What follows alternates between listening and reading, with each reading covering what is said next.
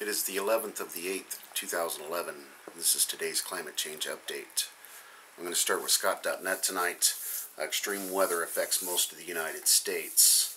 According to NOAA, 41 of the lower 48 states had an above normal or record warmest July uh, this year. Um, only seven states in the lower 48 were experienced anything close to normal or below normal, and they were all west of the Rocky Mountains. And uh, of course, we're all following the droughts that are going on in Texas and the fires and uh, uh, the record heat and the flooding and uh, the sinkholes um, that are going on in uh, throughout this record-breaking 2011 summer. Italy, Naples, garbage truck swallowed by a sinkhole. One dead and two wounded. And there are a lot of sinkhole stories today. Huge lava pond forms on Hawaiian's Mount Kilauea. And lava continues to erupt from volcanic vents on Hawaii's Mount Kilauea as it has pooled into huge lava pool pond on the volcano's active east rift zone. And this is an ongoing eruption. Um, you remember last night they were saying they, they did a study where the, the lava was swelling um, in the center of the, the earth kind of thing. Uh, new eruption starts at Alaska's Cleveland volcano. Of course, I covered that story last night. Pakistan magnitude 5.7 earthquake. Um, South Carolina minor earthquake hits uh, upstate city. Uh, the USGS says a 2.3 magnitude quake has been reported in northwestern part of South Carolina.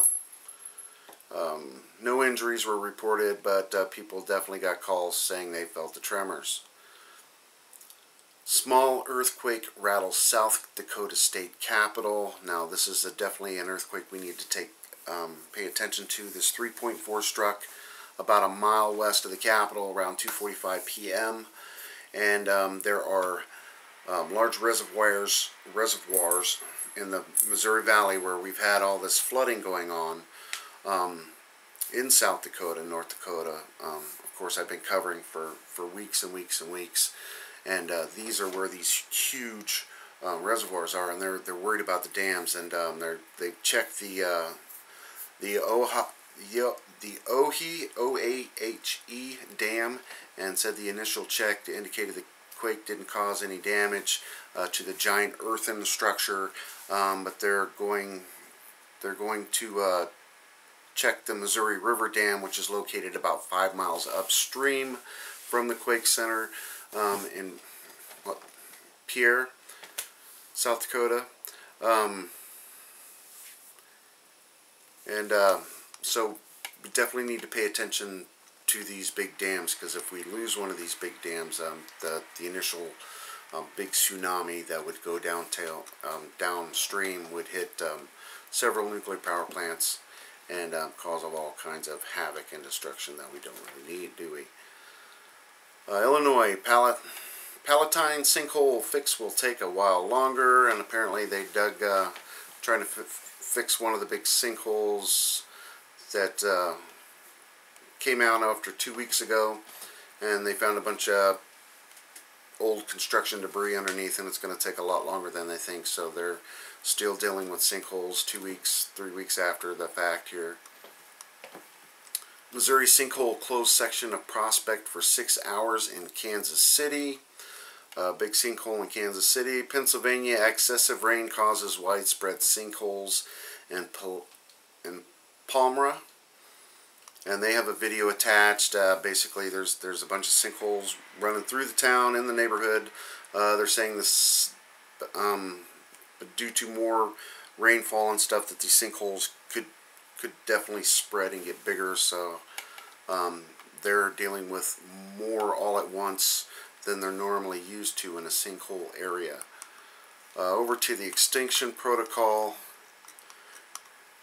Geologic timescale for recycling of planet's crust is four times faster than previously thought.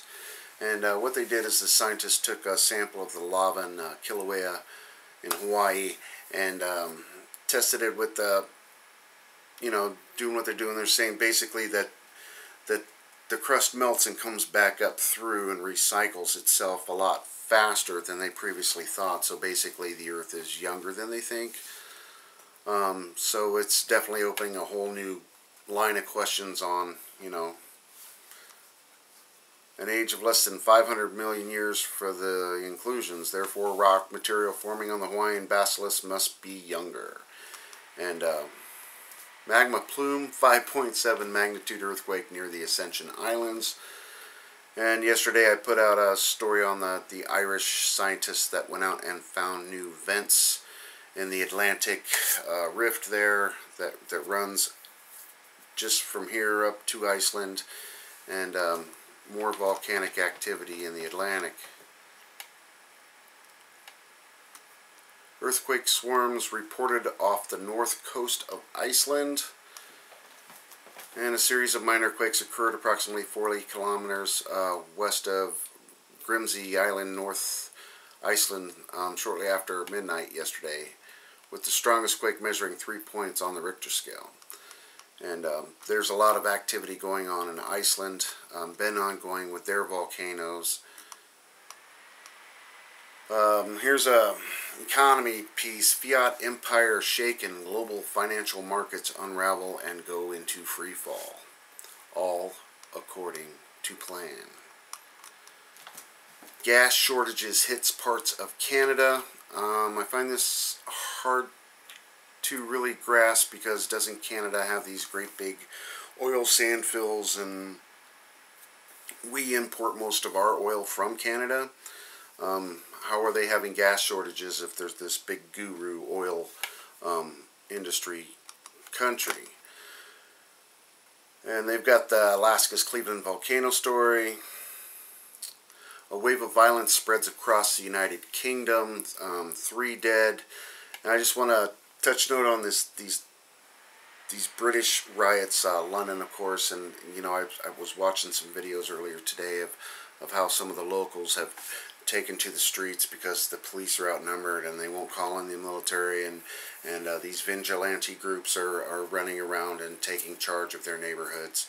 Uh, apparently three people were died when they got hit by a car trying to protect their neighborhood and um, this is an ongoing um, situation, which I I personally feel is being aggravated to a point of, you know, the people are going to scream for martial law, and these are the kind of stories that you're going to see. Uh, I don't think this is going away anytime soon. And of course, there are videos everywhere on this. And over to the Watchers uh, meteor shower on August 12th and 13th. Uh, Earth is entering a stream of debris from Comet Swift-Tuttle.